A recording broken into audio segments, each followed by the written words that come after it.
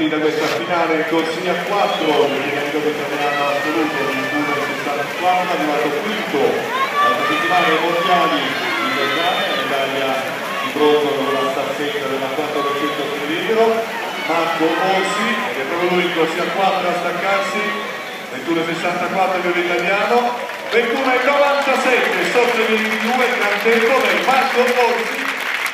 Piano West Bologna. 22-42, Giuseppe Tuturo, prova del Stadion Cagliari in seconda posizione, Lucio Spadaro, Fiamme Oro, 22 e 73,